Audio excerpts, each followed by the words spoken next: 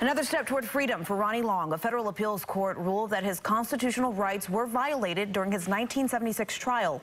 At the time, Long was accused of raping a woman, but the Duke Wrongful Convictions Clinic says evidence was suppressed in the case, including fingerprints. It's now up to the district court to decide on Long's innocence.